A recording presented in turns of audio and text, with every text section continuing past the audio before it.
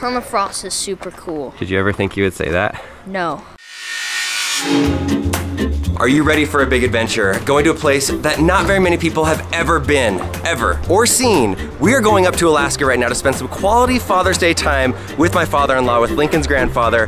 Thanks to our friends at 23andMe for sponsoring this trip. We're gonna show you what the heck is permafrost. Let's go! Permafrost. What is it? Have you ever heard of it? Have you ever seen it? I'm driving on a road right now that has a lot of permafrost. Every year, this road warps differently and they have to fix it because of all this bumpiness right here. Oh, oh, oh, ah, dang it. We caught air on that. I did not mean to do that. I'm sorry to my in-laws for doing that in your car, but it was fun. That is permafrost. The ice is melting in the dirt under the ground and that's seeping out of the ground. And as that happens, the ground moves different positions and it warps the asphalt differently.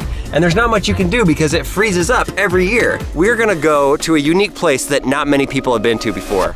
The permafrost tunnels that the Army owns and they've let us have exclusive access that lets you see millions of years of life in the permafrost. In fact, this is a place that even if you wanted to go to, you wouldn't be able to get into.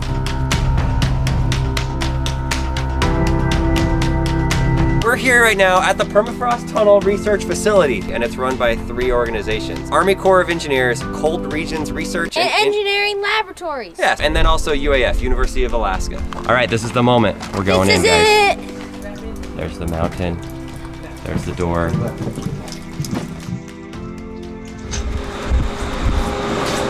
We are officially in the tunnels right now. Right here in this first section, in the first little entryway.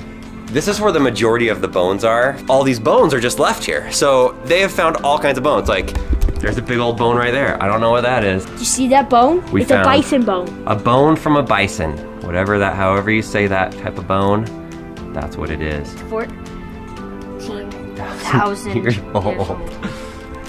So old. What do you think this is right there? Look at this bone. That's a big one sticking out of there. It looks like a tusk. That's a horn from a steppe bison. How many years ago do you think this thing was extinct? 14,000 years ago. What do you think? Lincoln is exactly right. We just got confirmation from our scientific expert. 14,000 years ago, there was a river that came down this area. Maybe dead animals were floating in the river. They got ditched right here. The ceiling is just brown right now. This is like finer than having a sand beach over our head. Lincoln, what do you think? How's it feeling here? It's cold.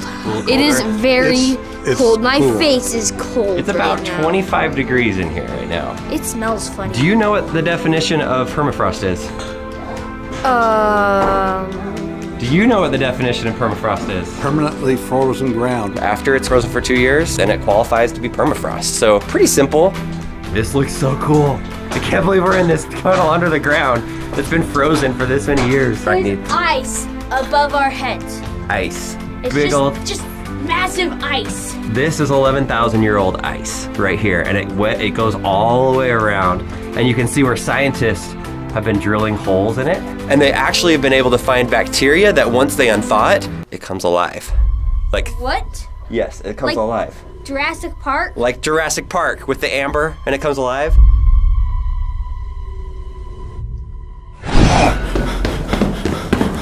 Pretty much that. They haven't found dinosaur things, but they've found like different things. This is an ice wedge. Where it's white there, that's where it has thawed and frozen again. This is the main culprit for why the ground moves so much. In the fall, when things are kind of drying up, the ground gets cracks in it. But then the water, it gets down in those cracks. And then it gets frozen over the winter. And then once it freezes again in the next fall, It's just gonna get wider and wider and Yes. wider. So you think of like over thousands of years, this crack is just gonna keep growing and growing and growing. Right behind me, you can see some permafrost in action. You can see this water is just settling on here. This is going to seep into the ground, into the cracks, and it's going to freeze.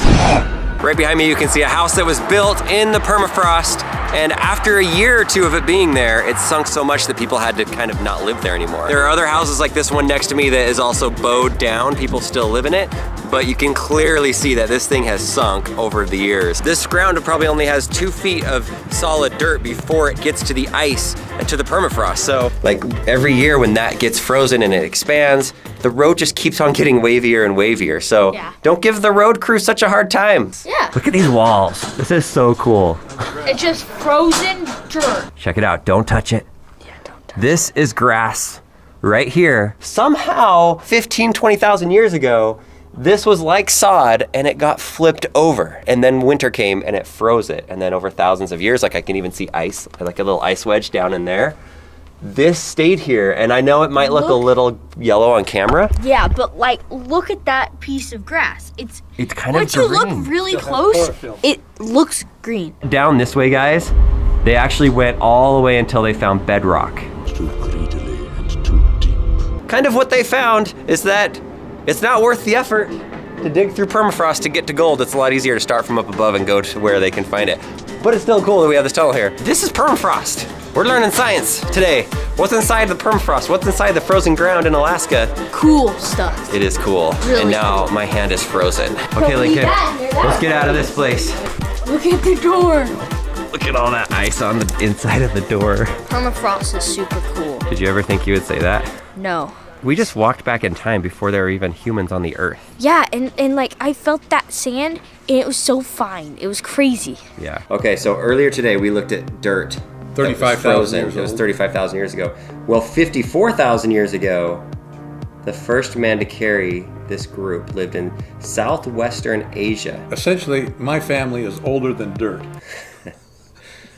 At least that dirt. Thank you to 23andMe for sponsoring this video. This is a Father's Day present that we are giving to Leslie's father, Lincoln's grandfather, Bill. 23andMe provided us with his DNA results. It's a really individualized present that is super cool. If you'd like to take advantage of the Father's Day promotion, take a look at the link in the description. We have a special one for you. It's 23andme.com slash what's inside. And what 23andMe does is provides a way for you to look at the 23 chromosomes that are in your body so that you can see what your body is made up of and see what your history is. Time to see the results. We have them right here.